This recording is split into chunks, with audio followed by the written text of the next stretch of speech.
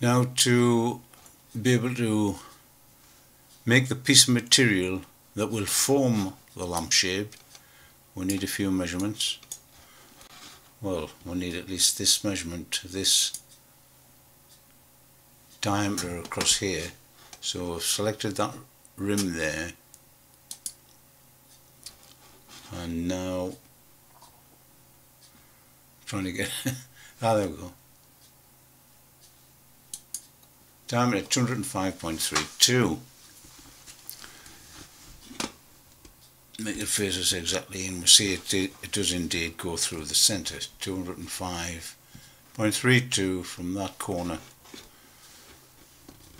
to the other corner. There, there we are. Now the problem is we need to cut the material at that diameter but the perimeter of the piece we cut has to be the same length as the perimeter of the final lampshade. So how do we cut that so that when it is cut up and folded into that shape it'll be the right dimensions? We need to do some calculations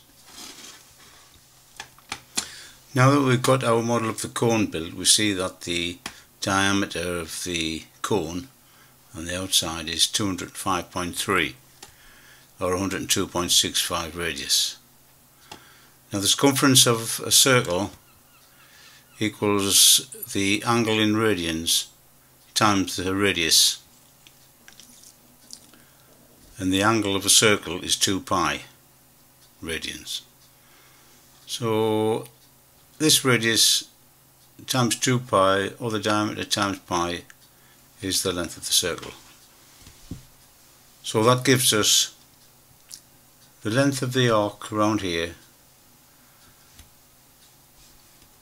and we already have the radius so we can make that piece.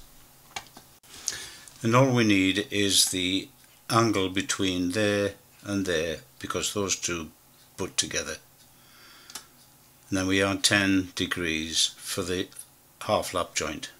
So knowing the circumference of that, that bit and the radius we can work out what that angle is and, and we know that the circumference, the two circumferences are equal so we can set up a, an equation that rearranging gives the angle r times 2 times pi divided by this r and we come up with an angle of 4.7 radians. There are 57.3 degrees in a radian, so 4.7 radians give us 269.3 degrees, which is that angle there.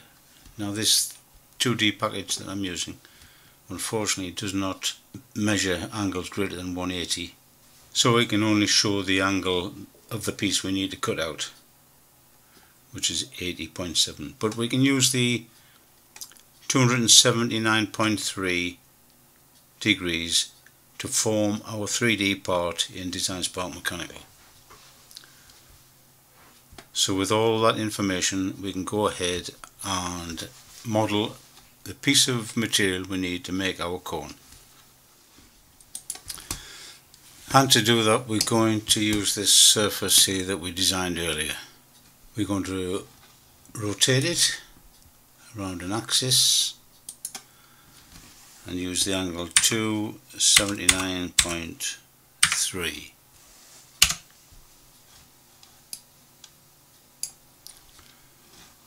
we can hide the cone.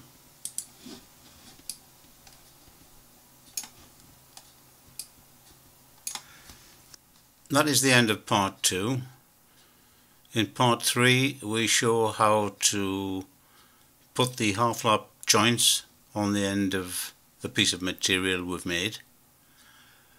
And we show how to overcome a potentially disastrous problem in DesignSpark Mechanical which will show that if you see errors come up in DesignSpark Mechanical it could be something you're doing wrong or it could be something DesignSpark Mechanical is doing wrong. So it pays to take attention of this. I hope you found this very interesting and useful and I hope to see you again in the next part. Please subscribe. Bye.